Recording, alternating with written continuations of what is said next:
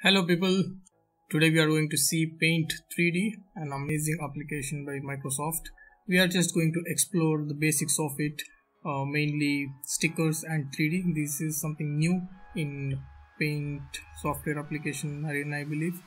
So let's try to create something like this. A uh, very dumb image of a skeleton man holding a hammer with a weird looking cape and the 3D circular faces below okay. Let's try to do that. This is the 3d application Paint 3d the two most special menus over here are these 3d and stickers. So let's start with 3d first. These are few of the images that microsoft presents. Unfortunately my location does not support a concept called remix 3d i still don't know what it is. Mm, you guys if you have uh, the supported locations i believe you can explore that. So let's start. I have clicked on man. The name of this object is man woman and so and so. Let's go with man. Okay.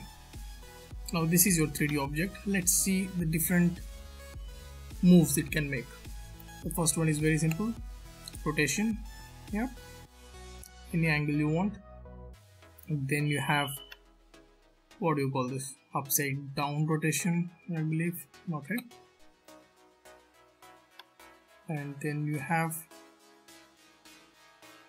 vertical rotation. But the best part that I like is moving the 3D object through distance. You will find this useful when we have more 3d images over here. So let's get started.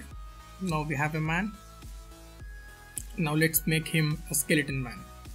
This is where the stickers coming to picture. Now you have some predefined stickers lines and some objects over here. Then you have some smileys. Very good smileys actually. And you have what's here? Textures okay. We are not going to use any of these three I have downloaded few images uh, that might be useful for this project. So I'm going to select from the local memory. To do that you select on the fourth option here and click on add sticker. That gives you option to browse your computer. So I'm going to select this skull over here. Now the skull as a sticker has been pasted to the entire object here. You can just click over here and pull it out. Great. Now let's reduce the image size. That fits right over here. Still not looking right so okay. Okay. Better. Okay. Okay. Looks weird but this would do. Mm, so he's our skeleton man now let's give him a hammer. So we go back to 3d images again. Now let's make a hammer. This should be simple let's see okay. I have selected sorry let me show that again. The 3d image that I took was capsule okay. That's not how we are going to use it but okay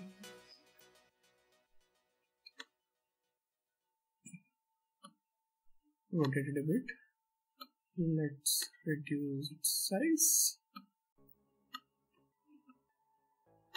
Okay. Now to make this into a hammer let's select one more 3d image.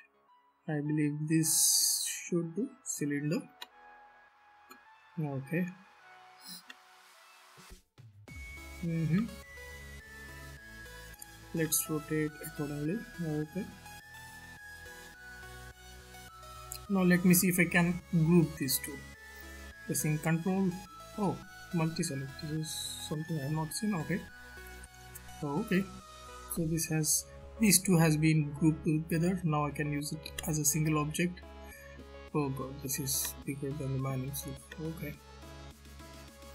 Okay now here is where the 3d distance moving comes into picture. Okay let's see that again. This helps the image the end image look exactly like a 3d creation where there is a dimensional distance between multiple objects. Okay now let's fill this. Let's give this handle color. To do that go to art tools we have a lot of amazing options here. This is much better version of the old paint. Let's go with fill color. Mm, let's go with black. Okay.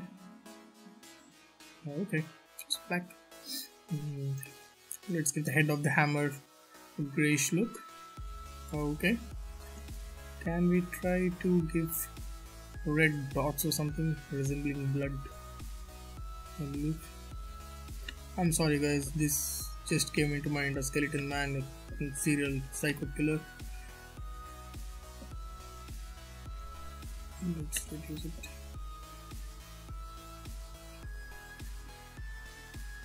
Red color.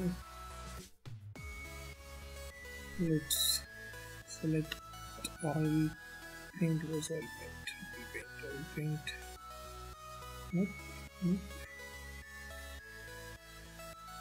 come on yeah oil brush the thickness. Okay. And let's use some spray can where's my spray can okay. Thickness please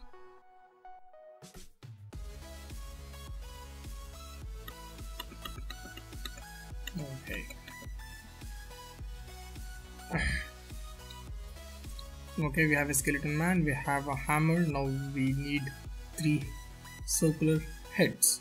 So to get those circular heads we are going to 3d menu here again let's take this circle 3d object known as sphere.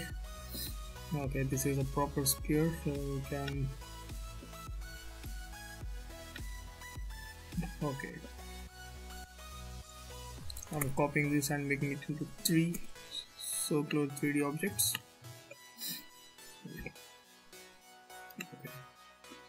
One two and three.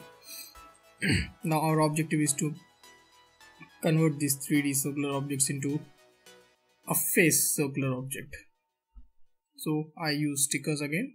Select your object go to stickers browse through your local memory. I have few of the few of these human images here which I'm going to use. No sir I don't want it there. Drag it out. Okay this size should be fine. Okay. Let's rotate it. Mm -hmm.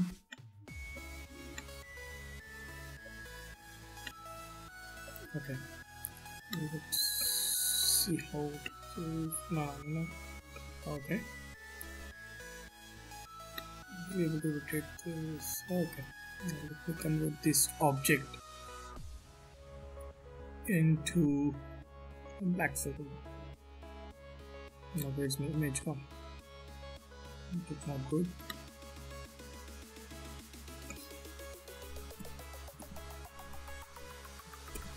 Okay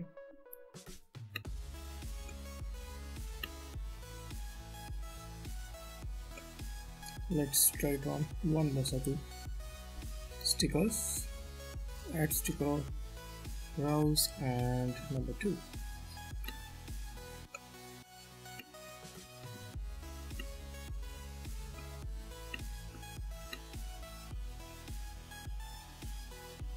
Perfect.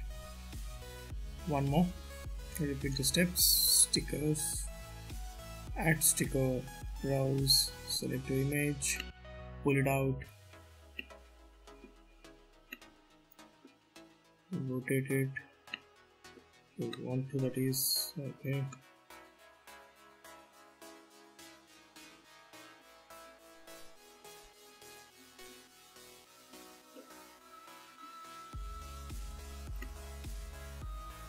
Last one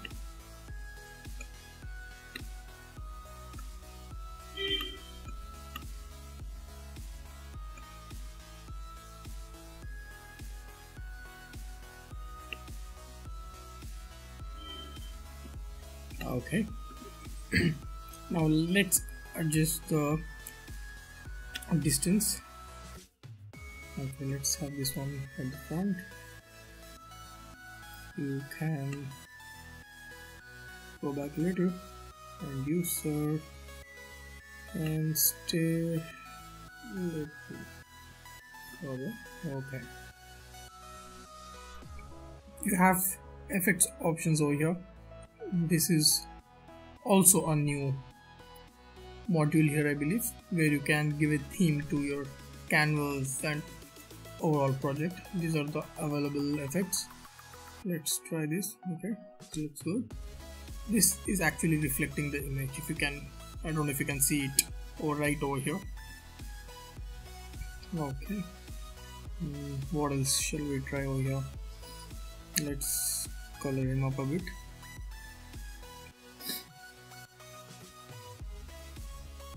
this is your fill option. Let's turn him into black object okay. Okay just give me where's my oil paint oil paint yeah oil brush i'm sorry. Okay. Okay this is the weird looking image. All I wanted was to just explore the application look uh, this is nothing like the previous version. I don't even think this it's the previous previous version the paint the original paint but this is a much better one. Maybe not as easy as paint but yes this can do amazing things. I believe many people are going to upload much more uh, tutorials that, uh, that allows you to create amazing objects like penguin. I have just uh, browsed through that. That's really good. So these are the new options that we have. I love 3D stickers and the effects option that it gives. I still don't know what this remix 3D does. I believe it's going to be great. So yes uh, let me give you the last uh, tip over here. Look at this bar. This is obviously zoom. I'm not going to teach you that. I'm sure you guys know that you have an option called view in 3d so this is how your image looks in 3d to save this image in 3d mode just go to the first option take a screenshot click on that and it allows you to save the image in its 3d entirety. Let's save it as 3d image. Okay. So yeah about the exploration that I have done. I'm sure I'm going to try out new things over here and will surely update you guys if I have something really good over here to move on. Thanks for watching. Hope this video helps you in the tiniest and the largest ways. Have a great day. Bye